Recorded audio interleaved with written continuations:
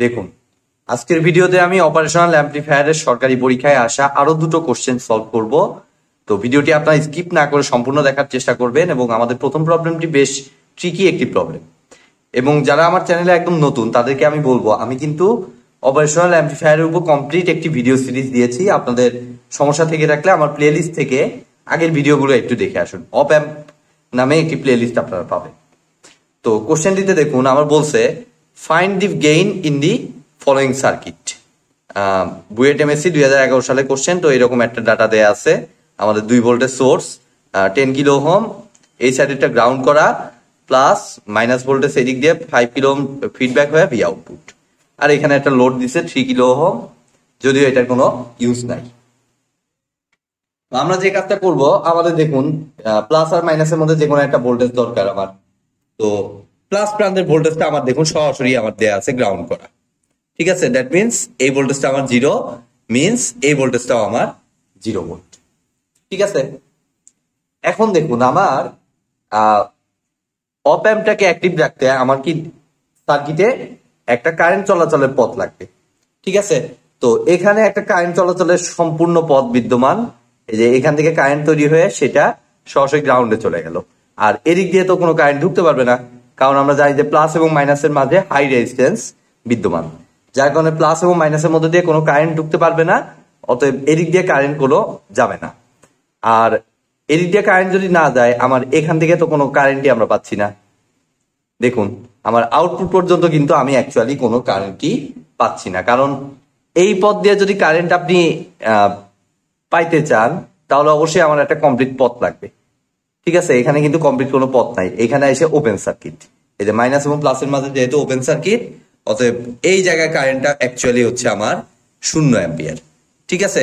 তো যেহেতু আমার এদিক দিয়ে শূন্য অ্যাম্পিয়ার তাহলে এই প্রান্তের ভোল্টেজ জিরো মিনস আমার ভি আউটপুটটাও অ্যাকচুয়ালি আসবে এখানে শূন্য শূন্য ভোল্ট ঠিক আছে? কারণ এই প্রান্তের ভোল্টেজ যা হবে, ওই প্রান্তের ভোল্টেজও তাই হবে। যার কারণে কোনো বিভব পার্থক্য তৈরি হবে না এবং বিভব পার্থক্য তৈরি না হওয়ার কারণে কোনো কারেন্টও আমরা পাবো না।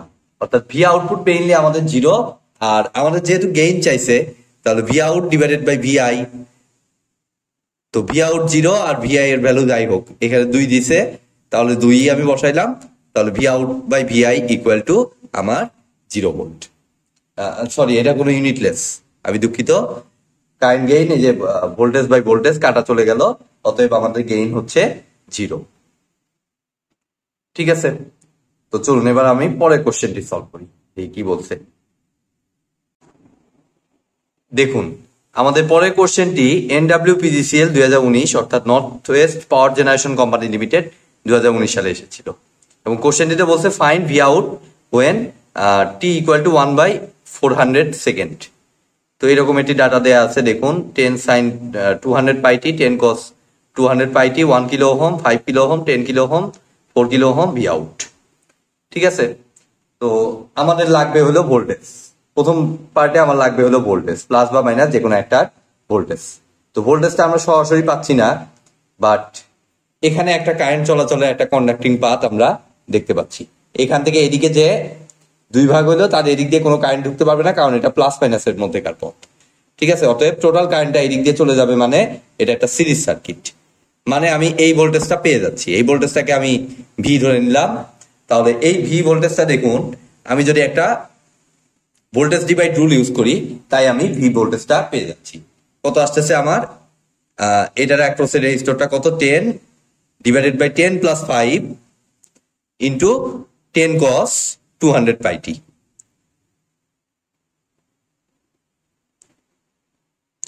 তো এখান থেকে আমরা হিসাব করে নিলে দেখুন, দশ বাই পনেরো দশ বাই পনেরো ইন্টু দশ। আর বিশ বাই তিন। বিশ বাই তিন cos two hundred pi T very simple এটা হচ্ছে ভি এখন এটা ভি মানে এটাও আমার ভি আসতে বাধ্য। যেটা আমরা অপ অ্যাম্পের বেসিকে আমরা দেখেছি। তো সেটা অনুযায়ী আমরা এখন এইখানকার ইয়েটা ক্যালকুলেট করব। এখান থেকে দেখুন আমার, এই দিক দিয়ে আমার একটা কারেন্ট আসতেছে, এই কারেন্টটাকে আমরা আই ওয়ান ধরে নিলাম।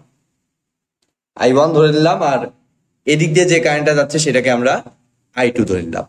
তাহলে লজিক্যালি আমার আই ওয়ান এবং আই টু কারেন্টটা কি আসবে? অবশ্যই ইকুয়াল আসবে। ঠিক আছে?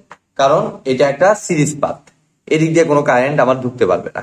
ঠিক আছে? যার কারণে আই ওয়ান এবং আই টুটা সমান আসবে।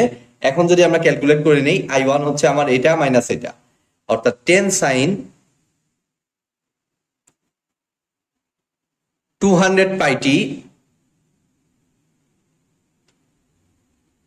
minus আমার কত ভি? তো ভি এর ভ্যালু মাত্র কত পাইলাম আমরা? বিশ বাই তিন cos two hundred pi T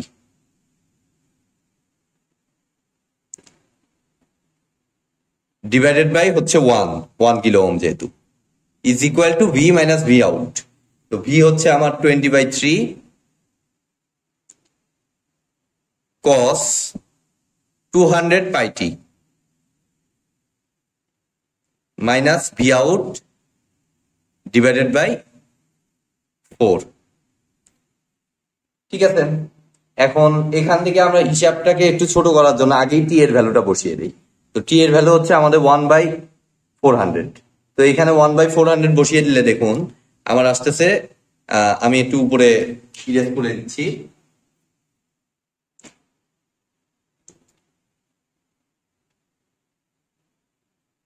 ভ্যালুগুলো সব পেয়ে গেছি। এখন আমাদের I one equal to I টুটাও মুছে দিচ্ছি, আমার শুধু লাস্টের লাইনটা লাগবে। টি এর জায়গায় যদি ওয়ান বাই ফোর হান্ড্রেড বসাই, তা দুইশো আর ফোর হান্ড্রেড কাটা গিয়ে নিচে টু অর্থাৎ ten sine pi by two. এটা আসে ঠিক আছে? Minus twenty by three cos, এখানেও দুইশো পাইটি আছে মানে এটাও পাই বাই টু। আর নিচে ওয়ান মানে যা আছে তাই। আর এখানে আমি এইখানে লিখতেছি। Equal to twenty by three cos pi by two. Minus V out তাহলে সিম্পলি আমার কস পাই বাই টু এর ভ্যালু হচ্ছে zero cos pi by two zero এটা এটা দুটাই জিরো আর সাইন পাই বাই টু হচ্ছে ওয়ান তা টেন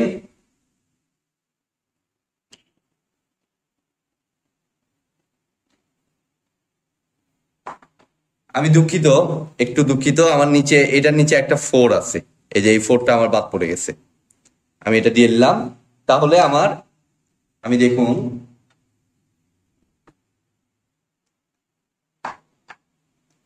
এখান থেকে আমার দশ সাইন পাই বাই টু শুধুমাত্র দশ equal to minus V out divided by four মানে এখান থেকে আমার ভি আউটের ভ্যালুটা আমরা পেয়ে যাচ্ছি কত? মাইনাস ফর্টি ভোল্ট তো এটা হচ্ছে আমার এই কোশ্চেনটির সলিউশন তো আশা করি আপনারা বুঝতে পেরেছেন। আজকের মতো ভিডিওটি এ পর্যন্তই। ভিডিওটি যদি ভালো লেগে থাকে, অবশ্যই ভিডিওতে একটি লাইক দিবেন, বন্ধুদের সাথে বেশি বেশি শেয়ার করবেন, আর চ্যানেলে নতুন হয়ে থাকলে অবশ্যই চ্যানেলটি সাবস্ক্রাইব করবেন। ধন্যবাদ।